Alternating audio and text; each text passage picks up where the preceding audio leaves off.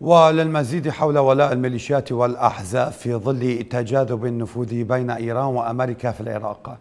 ينضم إلينا أوس المختار الصحفي العراقي عبر الهاتف من فيينا. أهلا ومرحبا بك أستاذ أوس. أهلا وسهلا.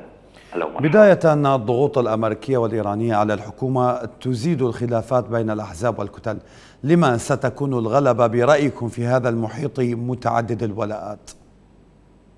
الحقيقة أعتقد أن الغلبة الحقيقية ستعود إلى كلا الطرفان الولايات المتحدة الأمريكية وإيران والخاسر الوحيد هو الشعب العراقي. آه، إيران الآن تستغل موضوع الانتخابات الأمريكية والتهاء الرئيس آه، الأمريكي ترامب بهذا الموضوع المصيري بالنسبة له وضعهم في آه، موضع القوة. الآن يريدون أن يضغطوا على الحكومة الأمريكية من أجل الحصول على أكبر قدر ممكن من التنازلات من خلال نعم. إبعاد النفوذ الأمريكي على السلطات السياسية العراقية وغلق القواعد العسكرية الأمريكية وكذلك البعثات الدبلوماسية الأمريكية من أجل وضع الحكومة العراقية والاقتصاد العراقي آه، كله تحت رحمة الحكومة الإيرانية. طيب في وقت تتهم فيه أو تتهم فيه الميليشيات مصطفى الكاظمي بأنه رجل أمريكا يفرج الكاظمي عن أصول وحسابات مجمدة لدى البنك المركزي العراقي التابعة لإيران كيف يمكننا أن نفسر ذلك؟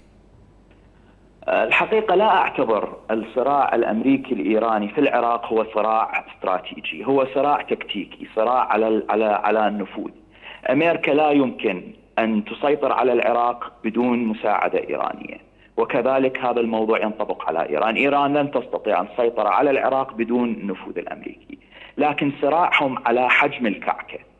الآن الصراع الأمريكي الإيراني على حجم الكعكة، كلما ضغطت أمريكا على إيران بفرض عقوبات اقتصادية على إيران، إيران ترد من خلال ضرب المصالح الأمريكية عفوا المصالح نعم المصالح الأمريكية في العراق آه، آه، وتهديد هذه المصالح.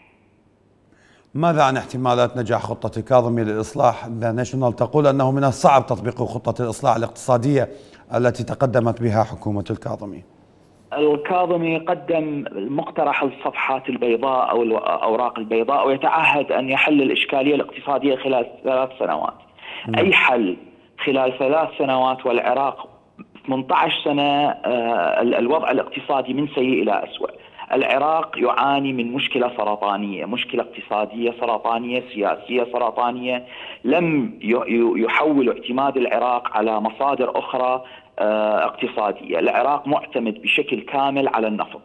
المنافذ الحدودية الآن خارج سيطرة الدولة، لماذا الدولة لا تعيد السيطرة على المنافذ الحدودية؟ لأنها تعتبر الرئة الحقيقية لإيران. موضوع آه، ميناء الفاو حينما بلشت الشركة الكورية بإنشاء مشروع ميناء الفاو. تم آه، ترهيبه من قبل الميليشيات الإيرانية في العراق من أجل إجهاض هذا المشروع المشي... هكذا مشاريع استراتيجية ستجلب أموال وعملة صعبة إلى الحكومة العراقية إلى الشعب العراقي. إيران تريد أن يكون العراق معتمد بشكل كلي على إيران من جميع النواحي الاقتصادية والسياسية آه، وغيرها من المجالات، لذلك أي مشروع حقيقي لبناء اقتصاد عراقي آه، آه، مستقل لن يطبق ويستهدف بشكل كامل. آخر قرار مقترحات من من من جماعة إيران في مجلس النواب بدمج وزارات التجارة والصناعة والزراعة.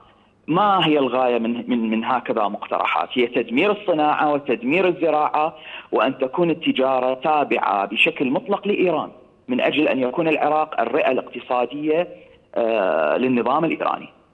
طيب يعني آه، في ظل تعدد الولاءات إلى أي مدى يمكن أن يقدم شركاء العملية السياسية وميليشياتهم حلول حقيقية للنهوض بالعراق من جديد آه، خصوصا المالية النيابية تقول إن الطفل العراقي سيولد مديونا للحكومة بنحو ثلاثة آلاف دولار إذا ما أقر قانون الاقتراض. لا أعتقد أن هناك حل. العراق مقبل على كارثة اقتصادية. يعني هذا الموضوع لا مفر منه. لا يوجد أي خلاص اقتصادي للعراق في ظل وجود هذه الحكومات المتعاقبة التابعة آه، لجهات أجنبية سواء كانت أمريكية أو إيرانية. الإيرانيين يريدون تدمير العراق تدمير كامل والأمريكان آه، يقفون موقف المتفرج من أجل أن يتم تدمير العراق بشكل مطلق ثم يدخلوا من جديد إلى العراق ويعيدوا بناءه بالطريقة الأمريكية التي يرغبون بها. طيب يعني أزمة اقتصادية طاحنة وتراجع في أسعار النفط وما يزال ميزان المدفوعات بين العراق وإيران يميل لصالح الأخيرة ما هو التفسير لاستمرار الاستيراد من إيران في ظل أزمة الرواتب مثلا الولاء المطلق الأحزاب العراقية ما يسمى بالعراقية هي ليست عراقية ولاءها بشكل بشكل أول وأخير هو لإيران إيران تعاني من أزمة اقتصادية، السيولة النقدية من العملات الصعبة التي تدخل الاقتصاد الإيراني كلها من خلال العراق. هذا هو التفسير الوحيد، لا يوجد تفسير آخر. الذين يحكمون العراق ولاءهم ليس للعراق، ولاءهم ومصالحهم هي للبلد الأم، لبلدهم الأم اللي هو إيران. لذلك لا يوجد أي حل لأي مشكلة سواء كانت اقتصادية أو سياسية أو أو أو اجتماعية للعراق بوجود هذه العملية السياسية ومن ومن آه، دخل بهذه العملية السياسية من 2003 إلى حد هذه اللحظة نعم الصحفي العراقي أوس المختار كنت معنا عبر الهاتف من فيينا. شكرا جزيلا لك لانضمامك إلينا في استوديو الرافدين